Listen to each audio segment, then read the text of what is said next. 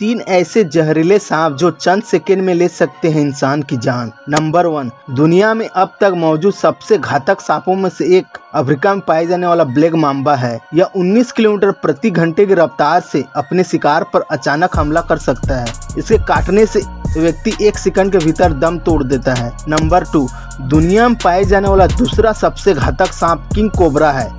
इसके एक बार काटने के बाद सात मिलीलीटर जहर पीड़ित की नस में प्रवेश करता है। इसके बाद व्यक्ति की मृत्यु केवल पंद्रह मिनट के भीतर हो जाती है। नंबर थ्री, खतरनाक जहर के साथ सांप की एक अन्य प्रजाति अमेरिकी फेरडिलॉन्स है, जिसका एक दंश व्यक्ति में तुरंत जहर फैलाने के लिए पर्याप्त है। इसका जहर इंसान के टिश्यू को काला कर देता है, जब तक कि वह मर नहीं जाता।